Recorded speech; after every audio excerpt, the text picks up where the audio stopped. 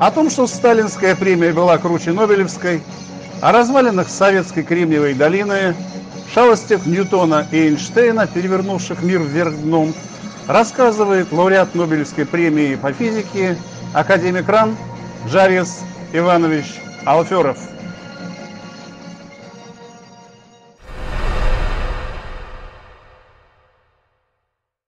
Могучим э, двигателем развития экономики, технологии, науки, развития вообще страны является микроэлектроника. Развитие микроэлектроники, как оно происходило?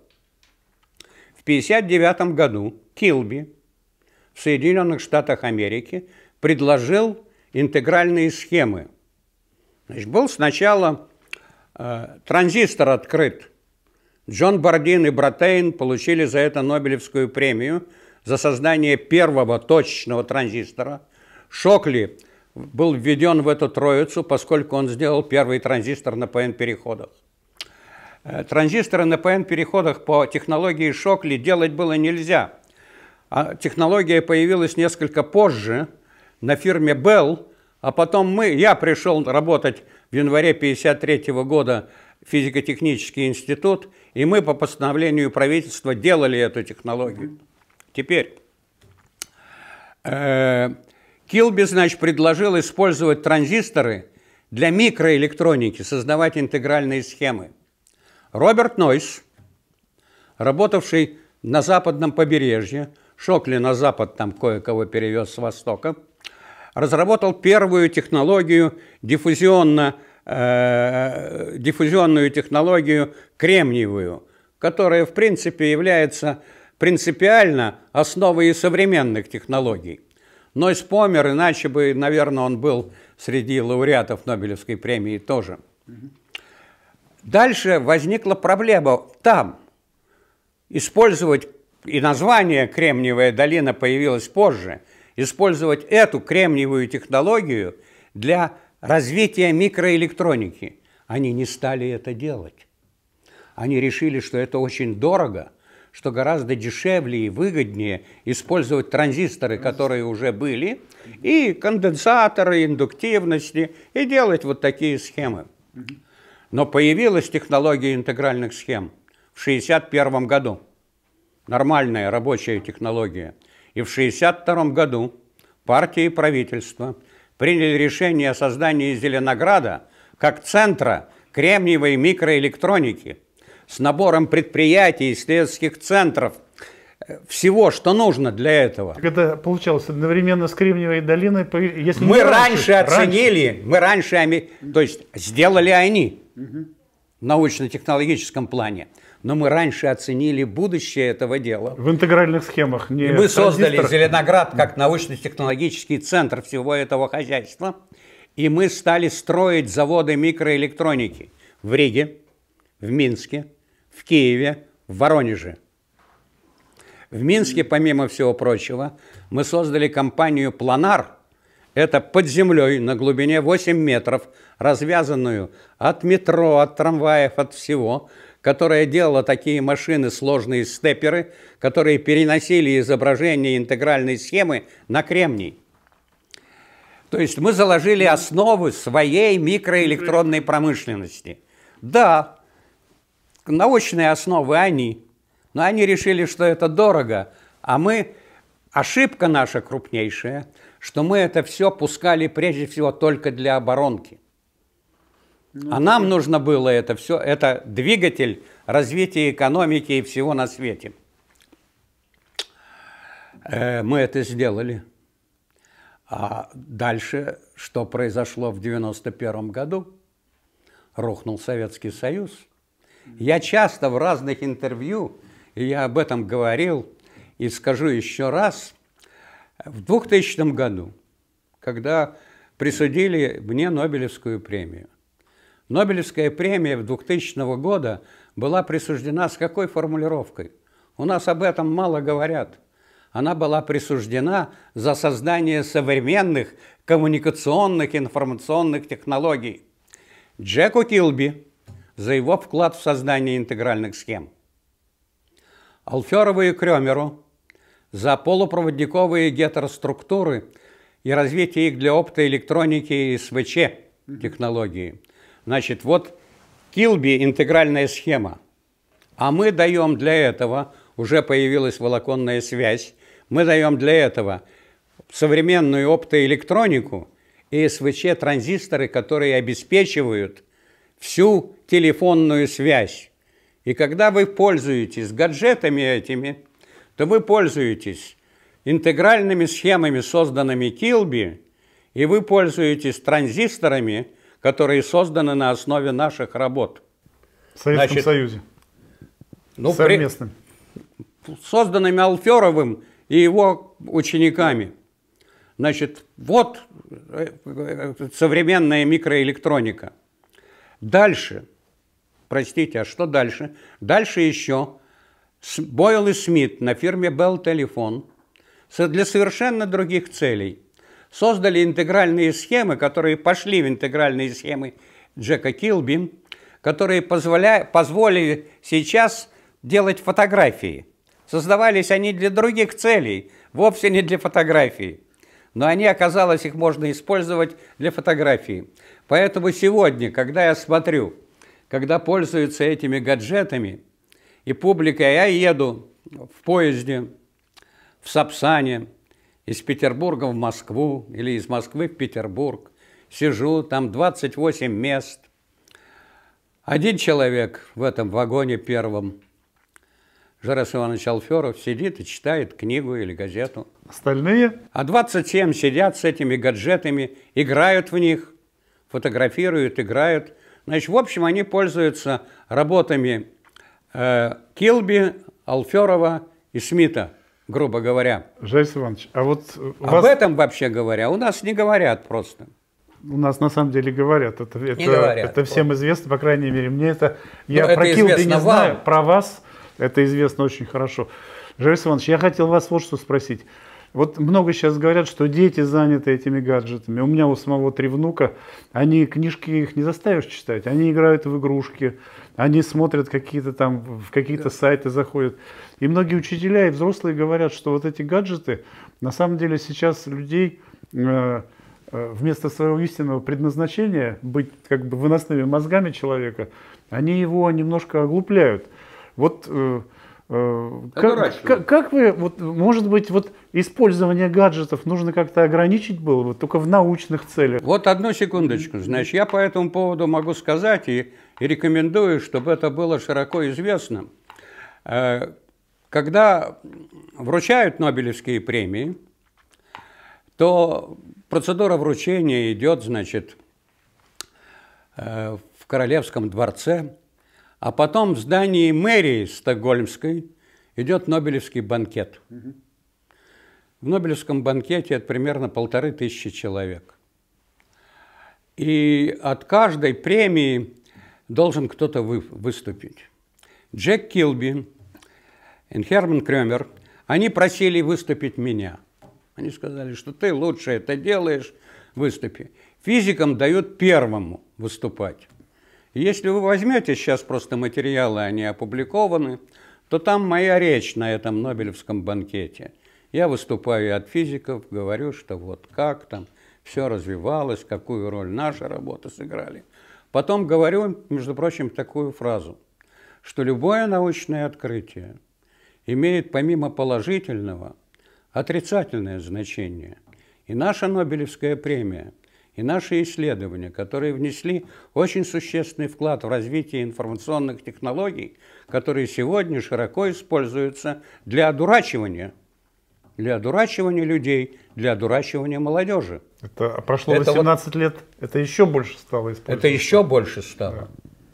Да. Э, как ну, Этот джин уже вып... из бутылки выпущен, его уже никуда не денешь. Вы запретить, вы можете закон принять, да. от этого ничего не произойдет. Вы должны это делать каким-то иным способом. Вы должны э, развивать технологии, которые должны идти. Гаджет должен помогать в развитии уже чего-то другого. Конечно, конечно, конечно. Он должен помогать чтобы им пользовались для того, чтобы узнавать новое, да. для того, чтобы инициировать в том числе и желание почитать книгу и войти в другой интернет. И это очень непростая и сложная проблема. Жесть Иванович, вот у меня, знаете, какой вопрос? Ничего, что я вас перебил? Да нет, ну что вы, пожалуйста. У меня вот какой вопрос. Вот любые какие-то э, любые действия вот в науке, в культуре, в искусстве, они имеют, как и любые системы, начало, э, средний возраст и как бы завершение. Вот э, то, что касается культуры. Есть такой, был такой художник Малевич. Да. да. И он написал свой знаменитый черный квадрат. Да. И черный квадрат, долгие, долгие люди думали, что же это такое. А он же это объяснил все сам, что уже все написано. Уже была эпоха Ренессанса, всех Христа написали, живых людей написали. И наступил конец искусства. И вот он этим, этим концом олицетворял вот этот черный квадрат, вернее наоборот, черный квадрат олицетворял конец искусства. И, на мой взгляд, вот наступает какой-то черный квадрат, и э, науке вот такой вот прорывной нужно какое-то новое, э, что-то новое. Например, освоение гравитационных волн. Вот мне кажется, что с понятием, что такое гравитация, и с возможностью как бы оседлать вот эти волны или поля, ну, начался бы новый технологический уклад. Вот как вы видите черный квадрат в науке и, и как его разорвать, если это так? Или это я заблуждаюсь? Ну, вы задали очень трудный и сложный вопрос. Я на него, в общем, не дам вам ответа, но я скажу следующую вещь. Вообще, э, развитие мировой цивилизации, по крайней мере, за последние три столетия, было связано прежде всего с развитием науки и применением науки для развития и создания новых технологий. Я могу назвать два имени двух, так сказать, великих людей, которые внесли огромный, потрясающий вклад в это дело. Это Исаак Ньютон. С яблоком. Вот. Это и гравитационные волны, в конечном счете гравитация, но гравитационные волны – это Альберт Эйнштейн.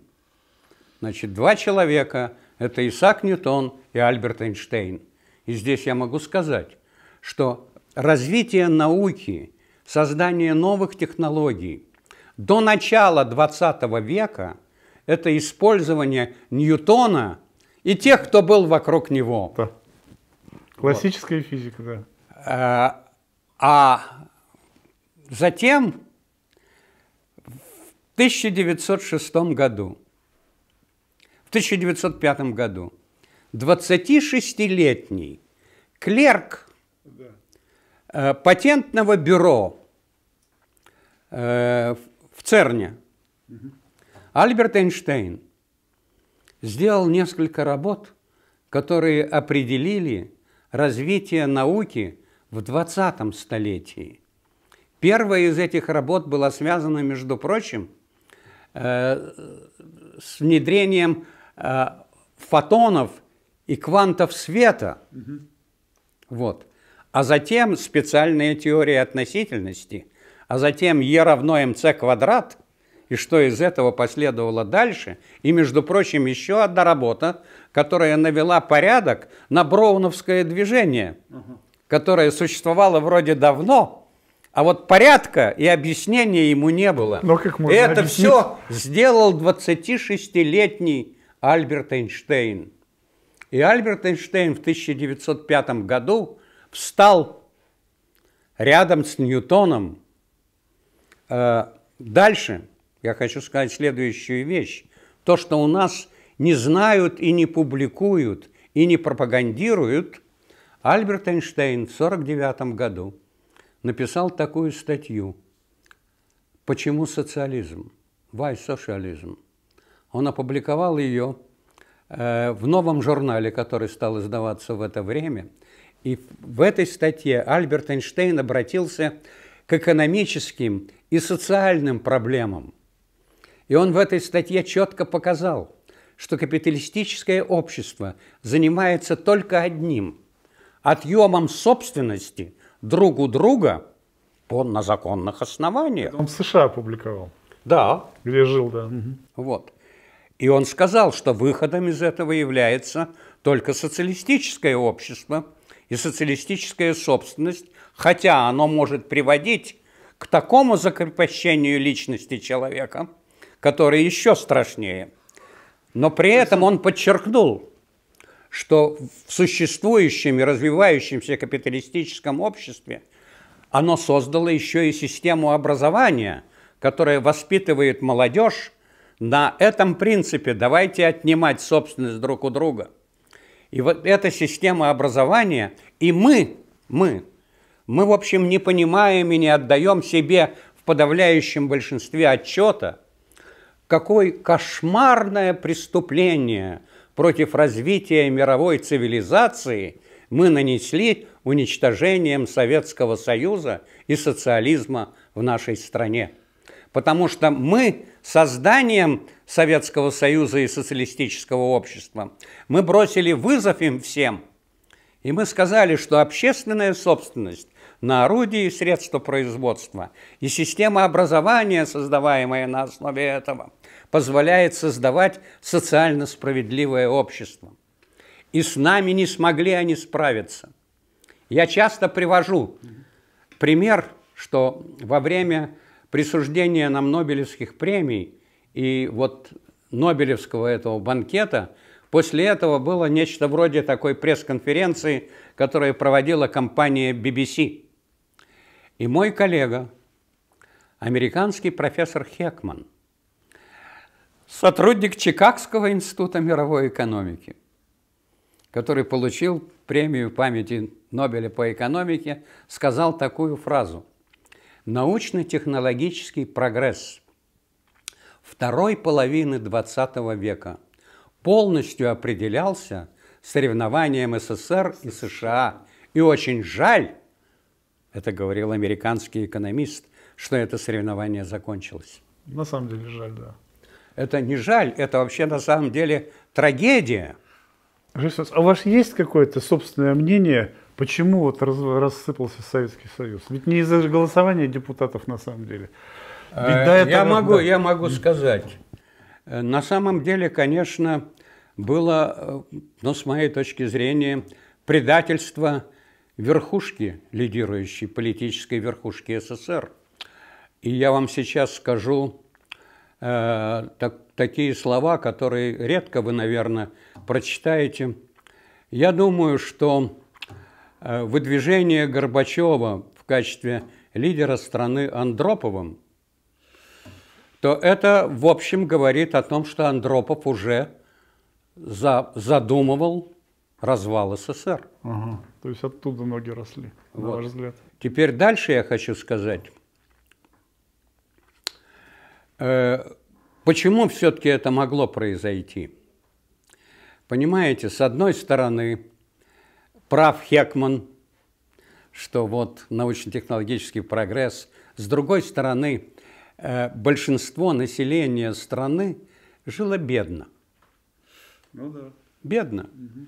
Мы тратили, возможно, с большим перебором средства э, на военно-промышленный комплекс. Мы жили бедно. И здесь вот проведением этой захватнической, преступной приватизации мы э, сказали большим, как говорится, количеству э, групп населения, вот вы получите – вы станете богаче. Четыре Волги, говорил Чубайс, вот. вы получите. И на, и на это люди, которые мало разбирались в этом, я могу сказать, что я, занимаясь наукой, высокими технологиями, именно за это, будучи избранным в съезд народных депутатов, я тоже этого не понимал.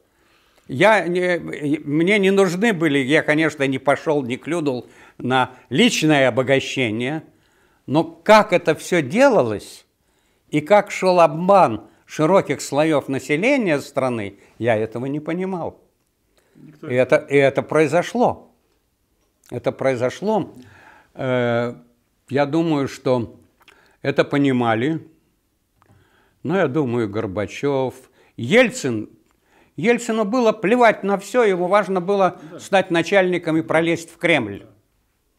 И вот э, Горбачев, ну, дурак, я думаю, просто. Вот я, я не верю в то, что, в то, что он специально задумывал. Он, наверное, не дурак, он просто уровень был вот этот слишком большой для него. Его уровень был намного ниже. Конечно. Вот на уровне, он не там, понимал, что на самом деле в итоге регион... он останется за бортом.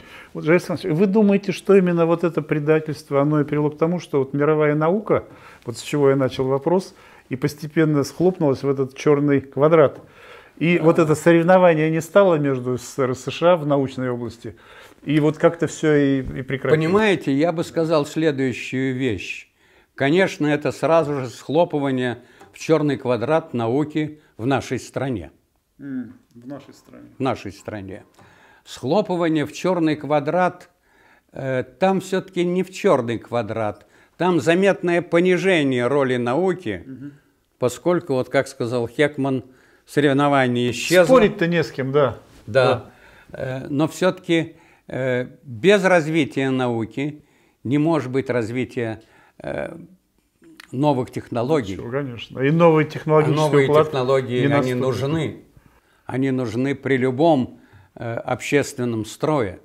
Вот сможем мы все-таки победить гравитационные волны, оседлать их? У меня был недавно в редакции один ученый, вот, не буду называть его имя, так он сказал, что это уже разработки ведутся, и у него на выходе создание платформ антигравитационных, которые будут выступать э, для перемещения каких-то грузов. И все это вплоть до приглашения посмотреть. Вы, вы верите в это или нет? Значит, я могу сказать следующую вещь. Э, ну, э, по научной квалификации я далек от этого. Понятно. И мне, конечно, трудно оценить конкретно. Но я могу сказать следующую вещь. То, что присуждена Нобелевская премия – Э, заградационные волны последние. Да, вот я почему... Это, это вообще, между прочим, показатель. То есть народ в этом направлении думает. Конечно, никуда и думает, денешься. и работает. И то, что здесь появятся новые, э, в том числе и приложения, ага. Это безусловно. Ну, значит, черный квадрат – это такая ересь, которая скоро развеется. Я хочу вернуться вот к микроэлектронике. Несколько дней назад выступал Э, министр э, Денис Мантуров вот, и сказал, что мы находимся на пороге полного импортозамещения по микроэлектронике и для оборонных нужд, и для гражданских нужд. Вот это э, вы считаете, вот здесь как бы вы уже номер один человек, вы считаете, мы близки к этому? Уже Нет. Дос... Нет, да? Нет. А на чем тогда основано? Вот он уже все-таки министр. А я не знаю, это нужно спросить у него. Значит, э, у нас был Зеленоград, я вам рассказал. Он сейчас работает прекрасно? Зелен... Нет, был Зеленоград. В Зеленограде осталось, ну, Микрон работает, а целый ряд предприятий приватизирован. Зеленоград – это уже, вообще говоря, сфера Евтушенкова. И что делает Евтушенков со своей АФК-системой? На зеленоградских многих предприятиях, я вам не могу сказать, но это уже, как говорится, от Зеленограда осталось очень немного. Слава богу, остался Микрон, который возглавляет э, прекрасный специалист в области микроэлектроники. Э, это Геннадий Яковлевич Красников. Академик Красников, мой близкий приятель, мой близкий товарищ. Да, Микрон работает, и у нас есть собственная микроэлектроника. Говорить о том, что мы решаем проблему полностью импортозамещения, простите, микроэлектроника и то, что делает сегодня Красников на микроне, это соответствует, ну, вообще говоря, вчерашнему уровню микроэлектроники мировой. Ну, слава богу, если вообще ничего не осталось. Вот, но, но, но вчерашнему, а не позавчерашнему. А, вот. Да. То есть, То есть это, это близко, это вот, вот где-то совсем недавно. Значит, как развивались, э, скажем так, кремниевые интегральные схемы? Путем уменьшения размера транзистора и увеличения компонент. Значит, первые интегральные схемы уже, так, транзистор я вам сказал, когда возник, когда возникли идеи эти, а первые интегральные схемы, это уже начало 70-х. И первые интегральные схемы – это где-нибудь порядка нескольких тысяч транзисторов на кремниевой интегральной схеме. Она примерно какая была по Несколько величине? квадратных сантиметров. Ну вот такая, как спичечный сегодня, коробок. Сегодня размер интегральной схемы тот же, но на ней миллиард транзисторов. Между прочим, то, что у нас в мозгу, это, если мне не изменяет память, по-моему, 60 миллиардов нейронов. По-моему. Я могу ошибиться здесь. Значит, мы где-то можем выйти, развивая принципиально ту же технологию, на уровень десятков миллиардов транзисторов, иметь близко к числу нейронов, но увеличивая плотность числа транзисторов на кремниевой интегральной схеме, мы делаем это за счет уменьшения размера одного транзистора. Да. И мы приходим к размеру транзистора, ну, сегодня в 15-20 нанометров. Нанометров. Это у нас в России. Нет, это в это, мире. Это в мире. В мире. И это предел. А у нас сейчас делают 30 нанометров примерно. У нас, если мне не изменяет память, 65. А, 65 даже. Да. Вот. И это делается в опытном производстве. Вот. Теперь мы делаем, значит, э, а что дальше? Дальше, вообще говоря, все это должно развиваться дальше. Теперь, секундочку. Мы приходим к критическому размеру одного транзистора – и к предельной плотности компонент в интегральной схеме. На этом мы остановиться не можем. При предельной плотности компонент в интегральной схеме мы выходим на число компонент, если мне не изменяет память, порядка 60 миллиардов транзисторов на интегральную схему, и вообще выходим примерно на тот же уровень, что и число нейронов в мозгу. Это на основе кремния? Да это кремний – основа, до которой все это сидит – Теперь дальше. Но сегодняшняя интегральная схема – это плоскость. Да. А дальше есть третье измерение. Точно. А третье измерение – это использование оптических СВЧ-сигналов и значительно более широкое использование в интегральных схемах гетероструктур. Это как раз то, чем занимаетесь вы. То, то, для чего я и создавал университет нанотехнологий. И одна из наиболее мощных компонент там – это центр молекулярной эпитаксии. Это технология молекулярных пучков, в которых мы можем получать сложнейшие структуры, гетероструктуры с оптическими, оптоэлектронными, СВЧ-каналами. И следующий этап развития микроэлектроники, переходящей в наноразмер – это переход использования третьего измерения. Угу. Мы его сейчас не используем, а мы его можем использовать. Для этого мы должны... Я понимал это, ну, 40 лет назад или 50 даже. И технологию молекулярной эпитаксии мы развивали у нас в стране, и мы имели машины собственного изготовления. Это уничтожено. Сегодня в мире это уничтожалось путем конкуренции разных компаний друг с другом. Да. Мы могли быть конкурентами, потому что мы сделали это в том числе и в Зеленограде. Сегодня этого практически нет. Сегодня в мире две компании молекулярной эпитаксии машин. Вика – компания США и Рибер – компания во Франции. И мой центр молекулярной эпитаксии в университете имеет две американских и четыре французских машины. А своих пока нет. А своих нет, и своих в ближайшее время не будет. Сейчас нужно просто, используя этот потенциал, потому что ведь публика же, она и развивает то, на чем она сегодня, э, вот понимаете? Может заработать. То, на чем она сегодня может заработать. В советское время, может быть, мы тоже перебарщивали в этом отношении. Мы говорили, будете делать вот это – и, и основным, так сказать, механизмом развития технологий, в том числе науки для создания новых технологий, были постановления ЦК и Совета Министров. Но они были не самые глупые. Они были далеко не самые глупые. По сравнению с сегодняшними постановлениями. Простите, они же, они же как готовились? Они же выслушивали нас, Конечно. и постановление в этой области готовили Александр Михайлович Прохоров, Николай Геннадьевич Басов, Жарес Иванович Алферов.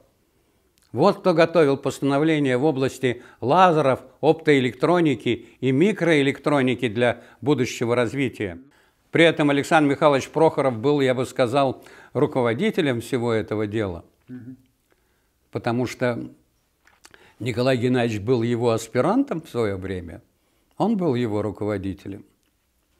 Я был хорошо знаком с Таунсом, с которым они получили Нобелевскую премию, э, и Басов, самый молодой и раньше всех умер среди них, вот, по-моему, в 2002 Э, Михалыч был постарше, умер в 2006 Самым старше был Таунс, не дожил несколько месяцев до столетия. Скажите, а вот э, то, что наследие вот это вот в лазер, вот в создании лазеров, то, что сегодня показал президент какую-то там машину и сказал, что это какое-то лазерное оружие, то есть это направление, оно все-таки развивается сегодня? Вот, э, а, лазер. Вы понимаете, лазерное оружие есть лазерное оружие. Я не про оружие, вообще вот это направление. Накачка лазера, там же есть какие-то накачки ядерными какими-то взрывами. Потом еще Нет, я могу вам сказать следующую вещь. Конечно, я опять здесь буду несправедлив. Э, но лазерная техника э, больше всего будет развиваться – за счет полупроводниковых лазеров. Потому что полупроводниковые лазеры – это одновременно и возможность создания очень мощных лазеров, включая лазерное оружие, и использование полупроводниковых лазеров в микро- и наноэлектронике. Вот. И это, как говорится, уникальные технологии и уникальная физика, в которой мы были лидеры, и мы еще сохраняем целый ряд позиций, и с нами по-прежнему считаются в мире. Во второй части встречи с академиком Жарисом Ивановичем Алферовым смотрите самое интересное. Э, и я выступил сразу против. Фурсенко мне звонит и говорит, я надеялся на твою поддержку, а я говорю, я тебе ее не обещал, я был против этого, и я выступаю против –